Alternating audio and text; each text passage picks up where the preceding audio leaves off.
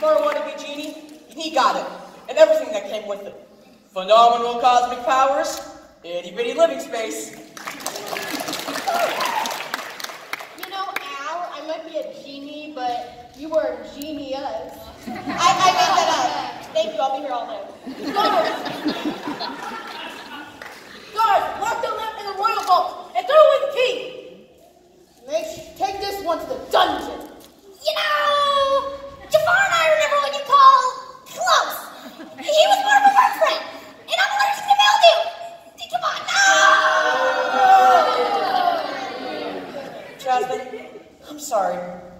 Being a prince would make me worthy of you, but lying was wrong.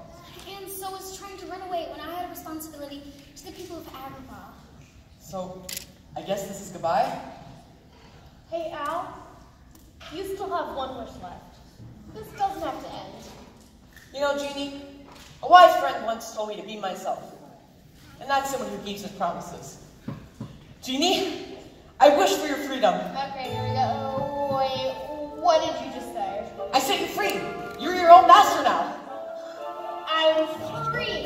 Like, really free. Quick, wish for something outrageous. Wish for the Nile. I wish for the Nile.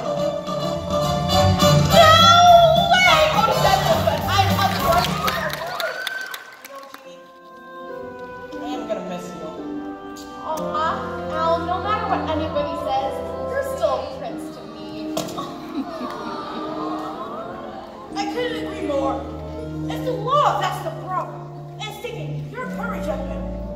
And my wisdom to help me see it. Well, am I sultan or am I sultan? From this day forth, the princess shall marry whoever she deems worthy. And as ruler of Agrabah one day, she will lead us with justice and compassion. Do you trust me, Aladdin? What did you say? Do you trust me? Call me Al. My little baby's all grown up. I know you had it in you to fix it all. Oh, I should have listened to you from the beginning, Steve. What do you say about being our royal advisor? Be my honor. Your Highness.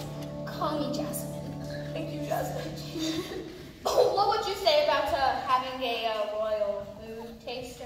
Of course. Thank you so much! In your face. And royal pest. Royal pest. Oh, Cassie. And a royal. A royal. What can I be? We don't know. How about a royal friend? I could do that. You've never had a friend like me. Hey.